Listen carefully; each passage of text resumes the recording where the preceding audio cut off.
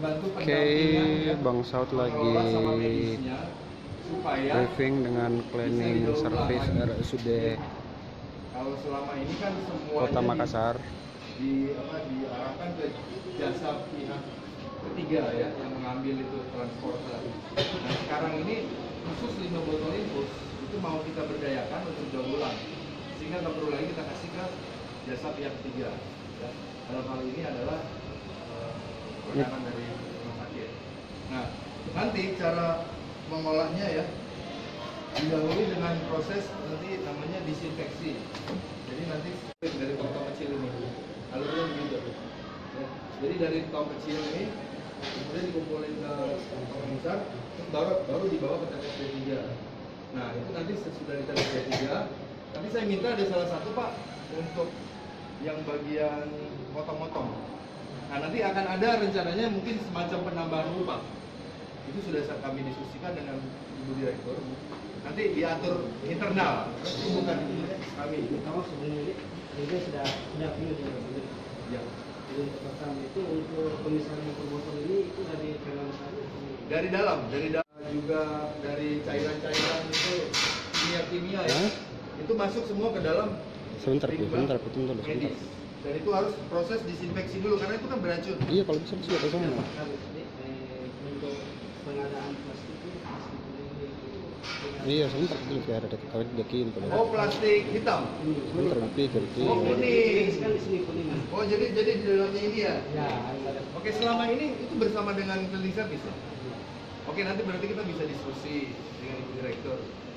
Uh, harusnya itu itu dengan dengan bagian uh, ditambahin aja berarti. Ya, kalau di Tambahin. itu misalnya sebelumnya kita kan di sini cuma kerja. Ya, sama. Atas. Ya. Akhirnya Nanti diskusi lagi ya. Namanya pengadaan itu kan dari- Saya kira logikanya ini juga bagian daripada rumah sakit. Jadi jadi ya ditambahkan sesuai. Enggak, enggak, Oh, enggak, ya? enggak, enggak di situ. Nah ini.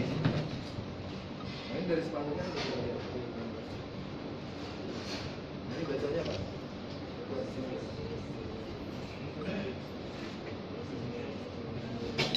Ya, jadi ini RSUD, ya.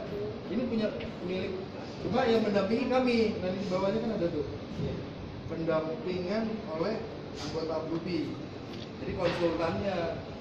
Tapi kalau kalau ini adalah pekerjaannya rumah sakit. Bukan, bukan, bukan, bukan. Bukan. yang yang daur ulang itu pihak ketiga Yang mendaur ulang ini eh, bukan rumah sakit, rumah sakit, daur ulang rumah sakit. Nanti yang ambil baru kami sesudah dibereskan. Jadi kami membantu sambil beres. Saya kasih ini pak, dana untuk bantu-bantu hari ini. Ya. Khusus hari ini aja loh ya.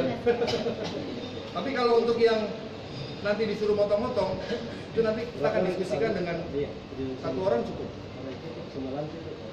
Kita ada. Kalau pekerjaannya kan nggak nambah pak. Ini kan sebetulnya juga nanti ditempatin di sebelahnya tong itu, di sebelahnya tong eh, infeksius. Kan ada tong infeksius tuh yang untuk limbah medis. Nah ini tong untuk daur ulang. Cuma mungkin kita perlu lagi eh, apa namanya yang yang besar itu, yang dorong-dorong, troli dorong itu satu untuk bagian ini medis.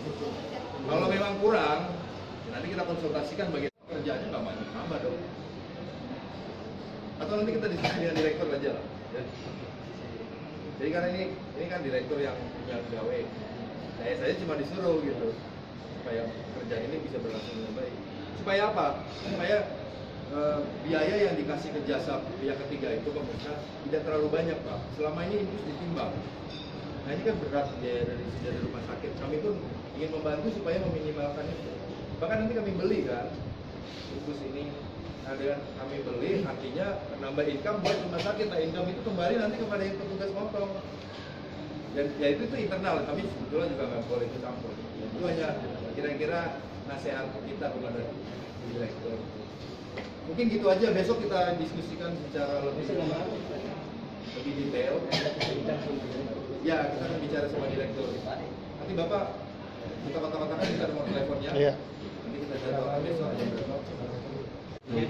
Triple lima, lima lima lima, delapan empat empat, lima lima, cocok nih, delapan empat empat, delapan empat empat, ya.